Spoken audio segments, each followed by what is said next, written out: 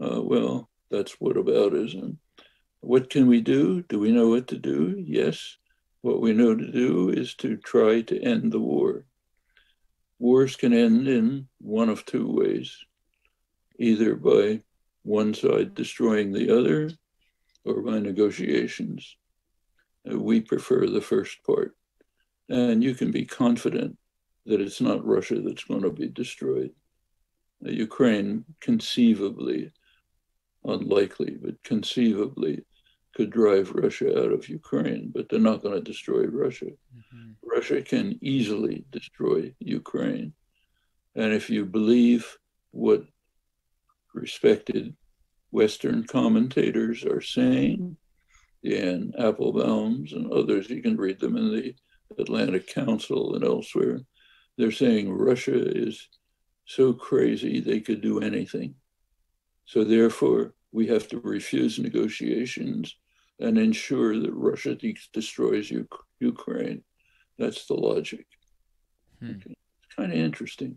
And this is respected. Let's fight Russia to the last Ukrainian, as Ambassador Freeman describes their policy.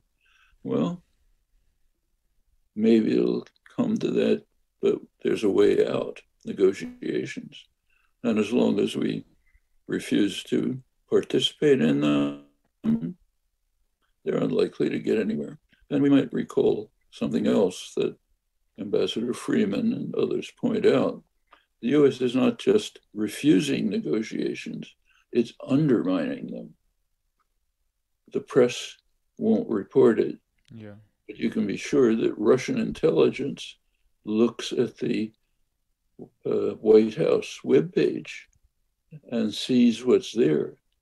For example, they see our official policy of last September and last November. I've written about it. Press won't report it, but the Russians certainly read it.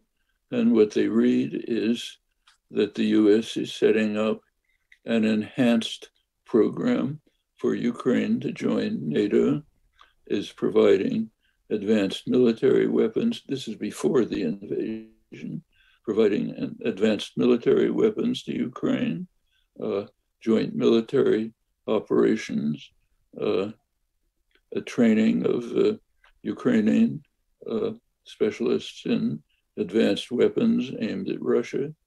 simply imagine for a moment that this was happening in Mexico. What do you think the response would be? well, Mexico would be vaporized, okay? Yeah. Because we have uh, security problems, but the Russians don't, you know? Yeah. Wow, it's it's a lot to take in, and you know what I what I really